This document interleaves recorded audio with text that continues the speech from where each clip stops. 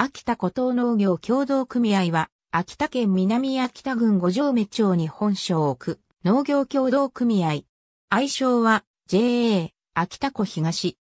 1998年4月1日、JA 秋田中央会が進める11広域合併構想に沿って五条目町、井川町、飯田川町、秋田昭和町の4農協が合併し、秋田古東農業協同組合として発足する。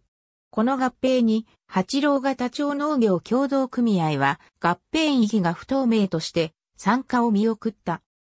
しかし、1999年度に初めて赤字決算を計上した八郎型町農協が JA 秋田中央会の監査を受けたところ5.04%としていた自己資本比率が実際にはマイナス1.31%であることが分かった。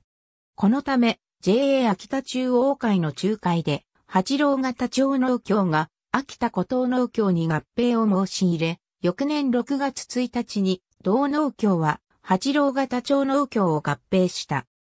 2018年4月をめどに財務基盤や販売力の強化を狙い新秋田農業協同組合及び秋田南農業協同組合と合併し、秋田生ハゲ農業協同組合としての発足を予定していた。しかし、2016年度に秋田古東農協の漬物の加工や販売事業を手掛ける子会社で赤字を出したことを受け、秋田古東農協は合併の参加を見送る方針を表明した。ありがとうございます。